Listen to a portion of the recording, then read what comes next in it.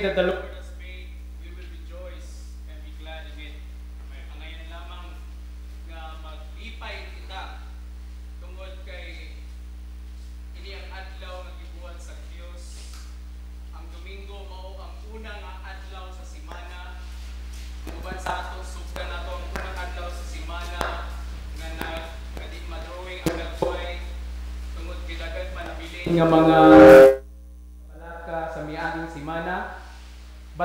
calling us today to renew, you know, to renew um, ourselves every Sunday so we can experience again His joy, His blessings sa, umuab, sa mga umaabot nga adlaw. Again, ang atong tema, reborn to bear much fruits. Nabanhaw aron mahimong mabungahon. Some branches produce fruit and are pruned, cared for, nurtured.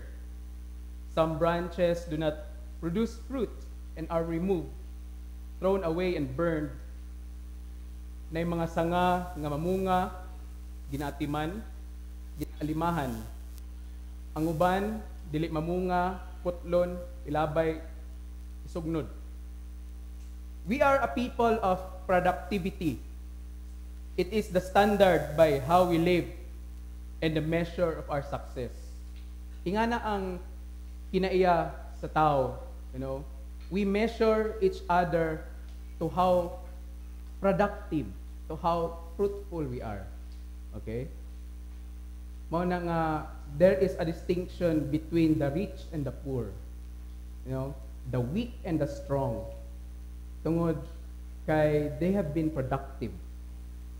It is built into our lives, anywhere in our lives. And even productivity is the basis of our economic system. Bisan gani sa atong ekonomiya sa nasod or sa ekonomiya sa usa ka nasod. Mai- Na ay distinction kung kinsa to mga dato nga nasod, second, third, fourth, so on. Ba? Tungod sa ekonomiya, to how productive their economy is. Those who produce are rewarded and get more.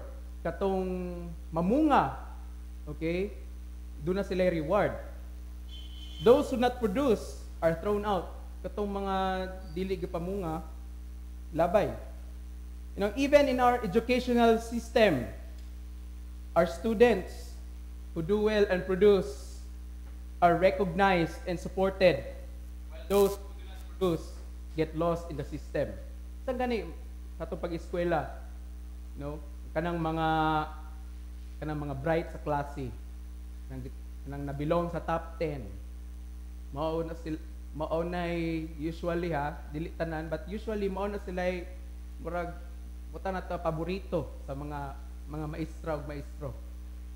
Tungod kay sa ilahang pagpaningkamot, okay? Careers and promotions are also based on productivity bisan ang mga trabaho. You know, labi na kung makita gid nimo nga mas dali makasulod og trabaho ang tao nga uh, adunay na human kumpara sa wala. Pero uh, usually yan ang gikitabo, okay? We have been convinced that productivity is the goal and only the the only thing to survive. I wonder if ingana gyapon ang atong spiritual nga kinabuhi. How many of us have been told to come to believe that pruned branches go to heaven and removed branches go to hell?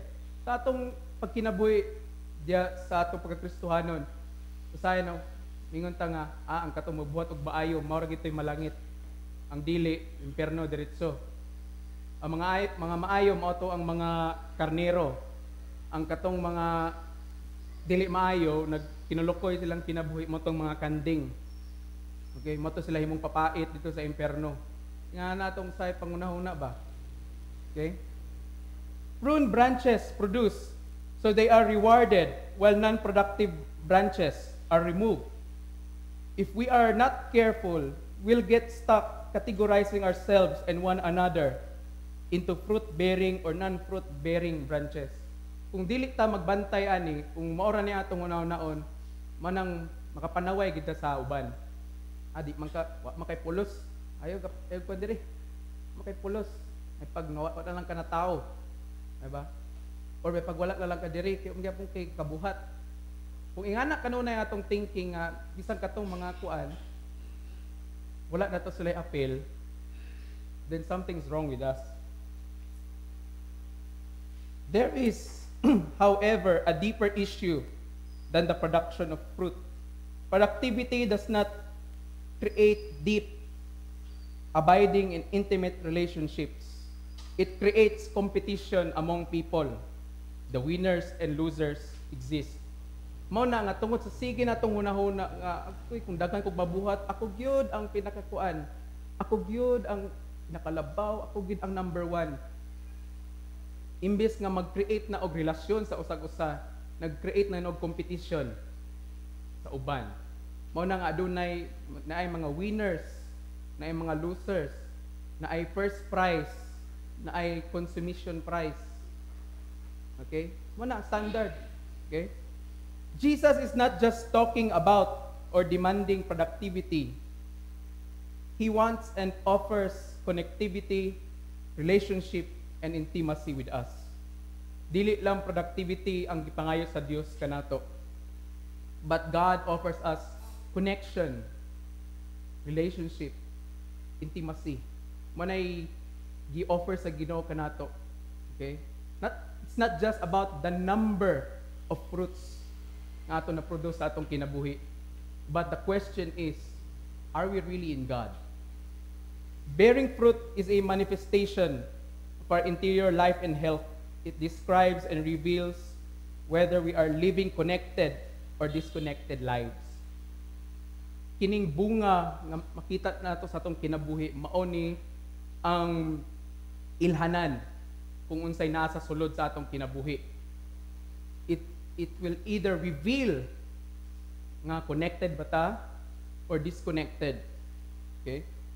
We can see that in long term friendships marriages uh, community dili pantry community loyalty okay We do not choose whether or not we produce fruit.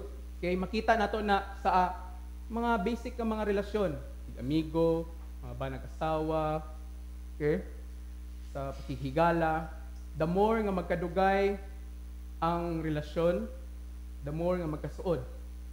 The more nga daghan ka may baluan sa usag-usa. And mauna ang bunga niya, closeness. Okay?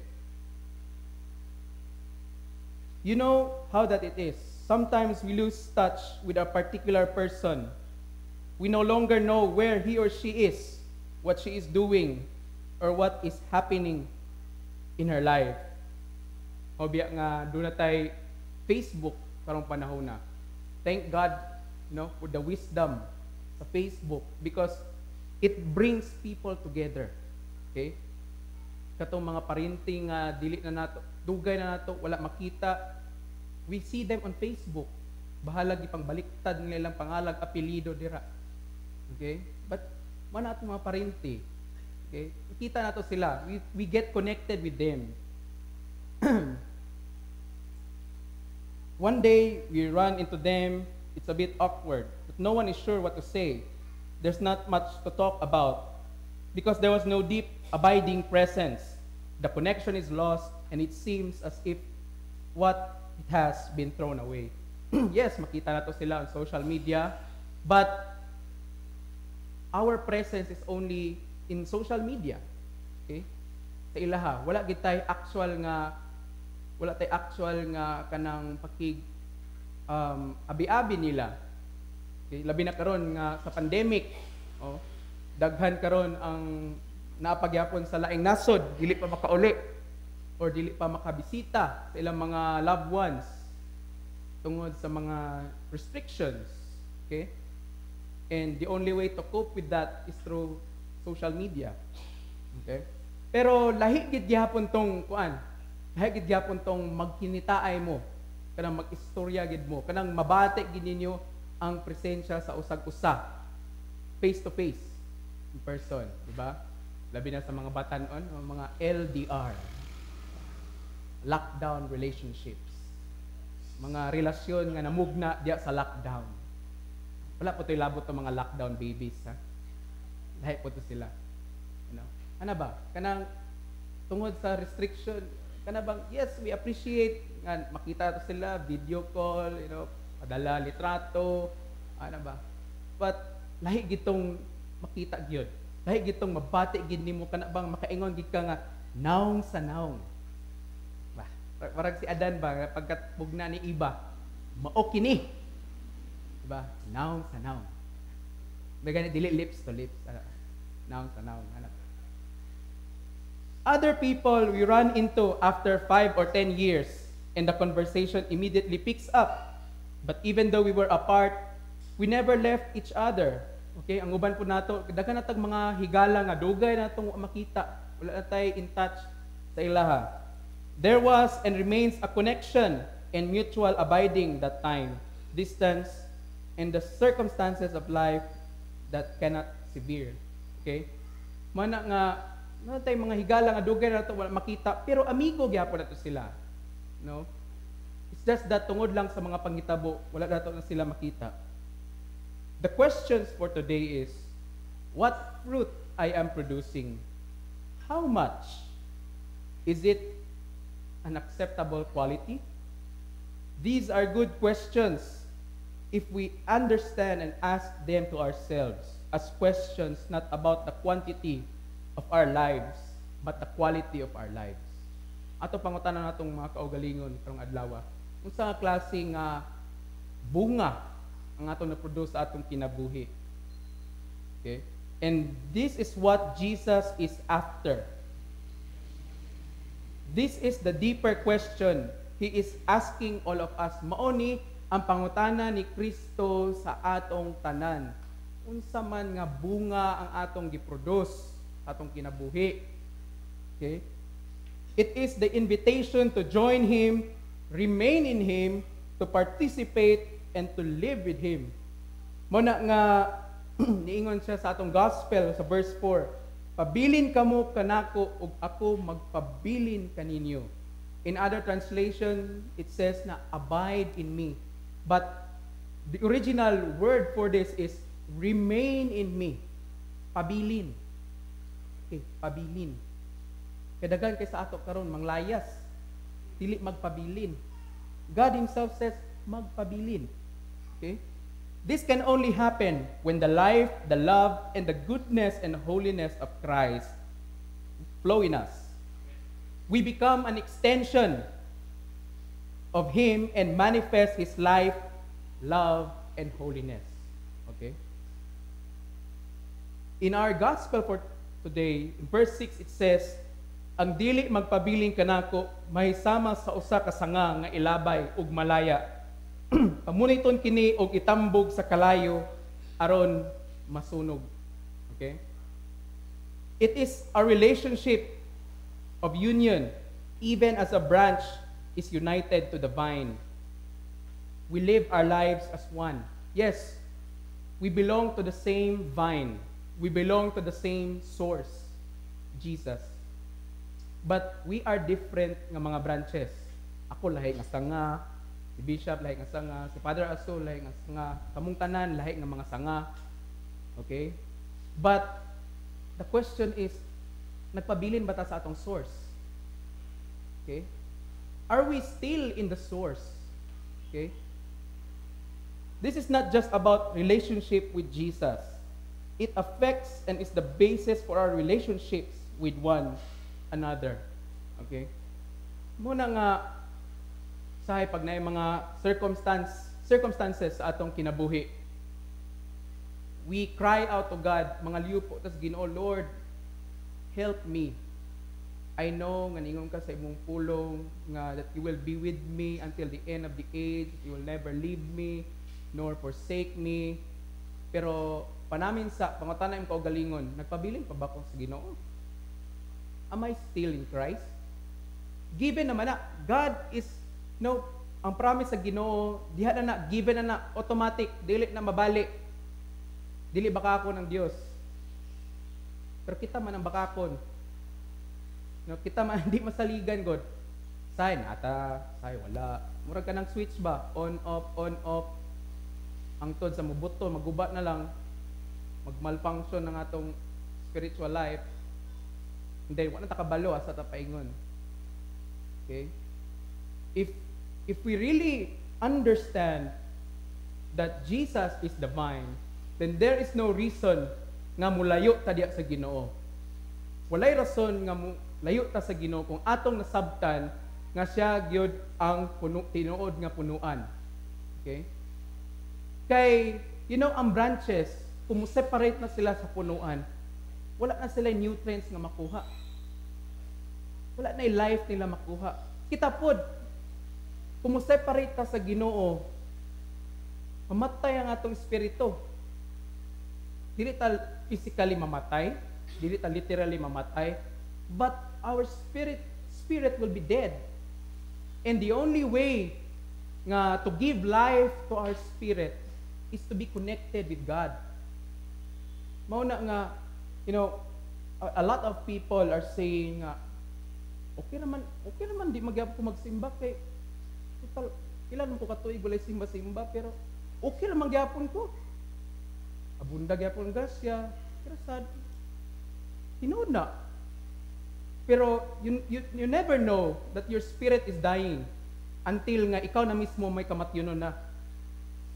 Until nga ikaw na mismo may gatinga na, ahya pa, ahya pa ni mo ma-realize nga you really needed God ever since the beginning of your life. Okay? Ah, okay raman dili magsimba. Okay, total. Pwede raman na dili sa Facebook, oh. Pareha raman. Yes, our our masses are being streamed on Facebook due to the pandemic to give way para sa uban nga nga makadungog sa pulong sa Dios, you know, and to receive, you know, the communion spiritually. But dili ikabaylo ang actual nga pag-experience sa presensya sa Ginoo diri mismo sa simbahan. Not because we want to violate, not because nga gusto nato binuangan ang protocol sa government but because we understand that here in the presence of God there is life ay kinabuhi imagine, imagine na ba punta tayo mong uyab nag video call mo ay na ningon siya nga gakos ko bi oh, gakos gakos ka ang imong gigakos ang cellphone nalagi ang dagboy pero imong cellphone magigakos nimo Usa man imong pilion nga kana magakos ka sa cellphone o magakos ka sa personal? Personal. Kana may nindot. Diba? Nakarelate man. Lockdown relationship gyapon. Diba? Mo na nindot. Okay? Aten lagi kag mas. Ato ka sa CEC Mindanao. Tanaw ka dito pero mas nindot gid gyapon tong naagi ka diri sa pew naglingkod and receiving the communion physically, hearing the word by your own ears. Di na ikabaylo. Okay? And that's what happens when we remain in God. We receive life, we receive nutrients, you know, we receive what we need. Okay? Because in John chapter 15 verse 7 it says, kung magpabilin kamo kanako ug ang akong mga pulong magpabilin kaninyo makapangayo kamo bisan unsa ug madawat ninyo ini sometimes daghang kitag pangayoon sa Ginoo Lord I want this I want that bil mo ko ba? Bili mo ako. Pero layo man tas Ginoo. Atong atong i-examine ang atong kaugalingon. Asa man ta karon? Where is our standing with God right now? Kaya ang, ang Diyos, dili mo na magpalayo na to. That's what we think sometimes, labi na pag nata sa mga sitwasyon nga murag di naging mabangbang ka na bang murag wala naging paglaom ba? Ang atong muna-una nga ang Dios mo ay nagpalayo kanato. But in fact, kita ang nagpalayo sa Ginoo. Gakalimtan na nato ang kaayo sa Ginoo, nalimta nato ang mga saad nga giingon sa Ginoo. But God in all of his goodness is just waiting for us to come back to Him again. Okay?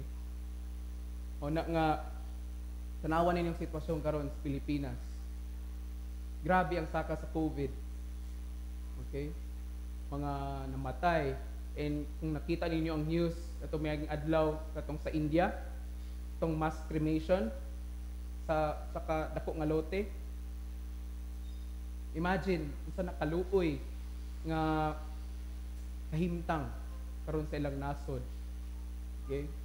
But here we are. Relax ang atong quarantine na classification. Pwede ta maka-travel, pwede ta maka-bisita sa atong mga loved ones. We can talk with them. Pero sa atong gibuhat, we take it for granted. Okay? O dili ni padungog-dungog nga homily. This is a confrontation para sa atong tanan. No, this is a rebuke sa atong tanan nga you know, God did not want us to be stagnant. Wala ta mataw nga stagnant. God wants us to bear fruit so that fruit may be seen by others and that they will know that Jesus is indeed alive. Okay?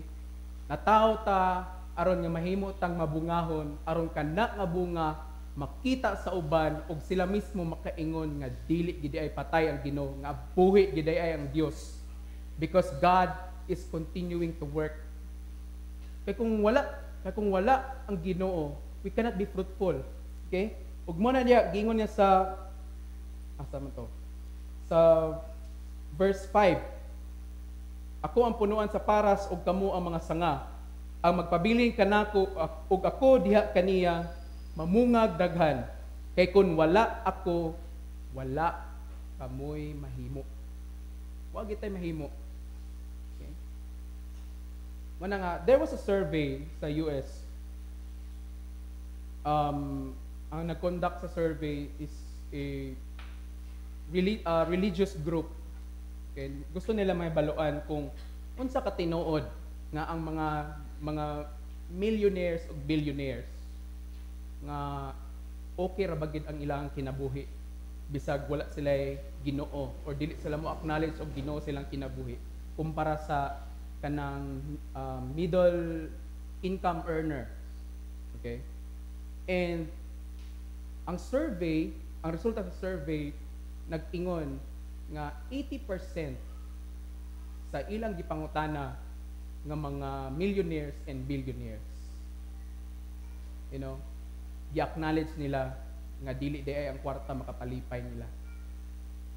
Ilang gi-acknowledge nila nga bisag unsa kadaghan ang ilahang kwarta sa bangko pero dili pero dili mabaylo kung adunay Ginoo kuno silang kinabuhi. And ang 20% okay nag-ingon nga nga bisan og ingana lang ang ilang income. Pero sa diha nga ilang gi-acknowledge nga duna sila Ginoo sa ilang kinabuhi. Bisan to disod kuno ang kinabuhi but ma-manage nila. Okay, because according this was the word nga gigamit because we knew that there is someone up there taking care of us. Okay? Kay kita bo we rely so much on our strength magsalig ta sa atong kaugaling kusog atong kaugalingon nga mga talento, atong kaugalingon nga mga hibalo. Okay? And that and pride will out of that pride will come in. And di na to mabantayan nga kita na may nagari-hari na sa atong kaugalingon. Not God already. Okay? Hona nga we have to remain in God. Okay? Love for Jesus for one another, and for ourselves become one love. We soon discover we are living one life, and the fruit of that life and love is abundant, overflowing, and glorifying to the Father. Okay? Mana nga ang sa verse 8 nga sa ato ko ng pagpamungag daghan, God will be glorified. Kamo dili ba mo gusto nga mahimaya ang Ginoo? Gusto ba ninyo? Kamay-may ang ginoo. Amen. Okay? So, sa may atong gibuhat, starting today, we must be fruitful.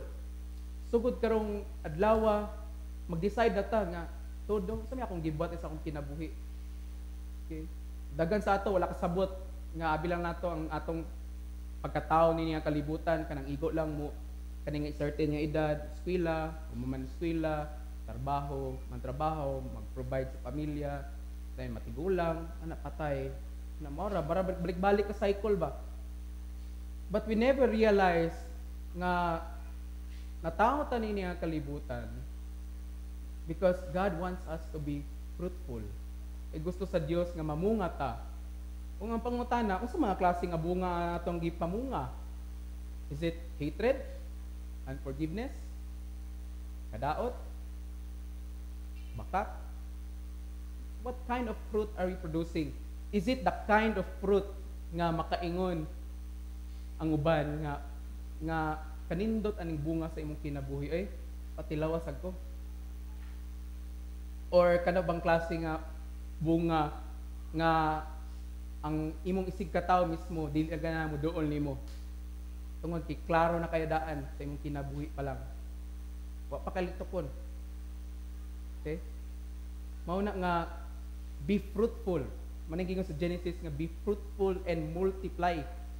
Ato nang i-spread nga fruit you know unsa man nga fruit the fruit which is the love of God no the identity of God, the goodness of God nga atong na-experience. Ato nang i-spread sa uban. Okay? Again, this is not a question of kinsay pinakadaghag bunga, kinsay less nga mabungahon, kinsay nasa pinakaiwit. Not, it's not about that. It's about the question of are we bearing fruit? Na ba namunga ba ta?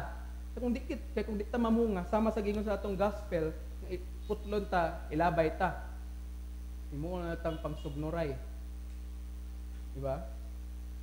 At least ba nga mubiya ta ni kita, kitang tanan mubiya ta ni nga kalibutan nga makaingon sa ta nga naram sa di ko nabuhat nga maayo no. Nara po pinabilin nga maayo. Mana nga be mindful of the fruit that God wants us to bear. Okay? Again, you are not born to be stagnant. You are born to be fruitful. Ignay mong tapad, you are fruitful. Ignang ikaw mabungahon. Amen. Paliyog manindog. Hallelujah.